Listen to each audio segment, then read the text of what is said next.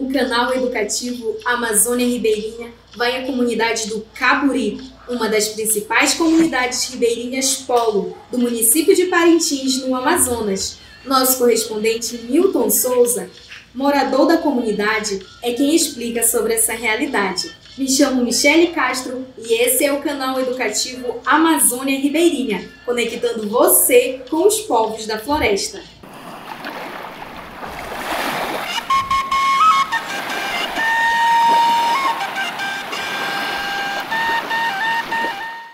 Me chamo Newton Souza, tenho 16 anos e estudo atualmente no IFAM em Parintins.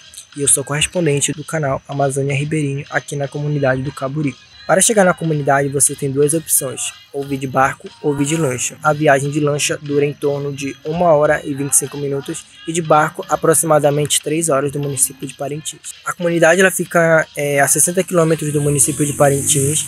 Essa igreja foi iniciada no dia 1 de abril de 1995, na gestão do senhor José Roberto Andrade de Souza. A igreja de São Sebastião é a principal igreja católica da comunidade.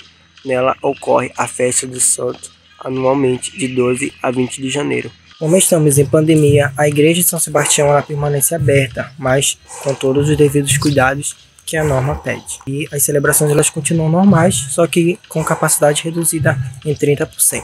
Chegamos agora no mercado municipal daqui do distrito do Caburi. É aqui que funciona a Wi-Fi pública, no qual ela já está aqui desde 2016 e ela é custeada pela Prefeitura de Parintins. E também serve para o público em geral, para alimentação, venda de peixe e alimentos em geral. A Escola Estadual Caburi é a principal escola estadual que tem aqui na cidade, na comunidade. E ela está funcionando também no EAD.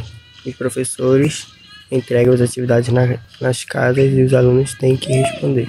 A escola conta também com funcionamento de Wi-Fi, que é custeado pelo governo do estado do Amazonas. E no momento também ela continua parada somente com o serviço dos funcionários que de limpeza e segurança.